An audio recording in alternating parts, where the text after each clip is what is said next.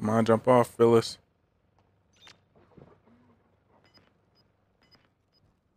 They have a tiny little corner above you.